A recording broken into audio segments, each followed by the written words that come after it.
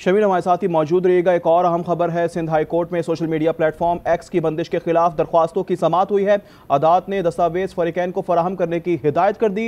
इस हवाले से अपडेट कीजिएगा, शमील, क्या तफसीत हैं आपके पास?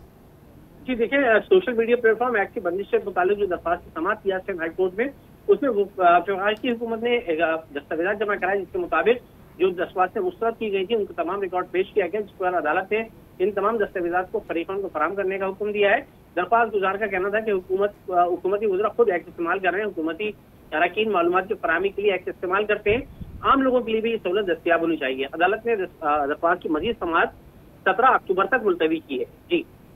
मजीद समात सत्रह अक्टूबर तक मुलतवी कर दी गई है। हमें अपडेट कर रहे थे शमील अहमद। आपका शुक्रिया।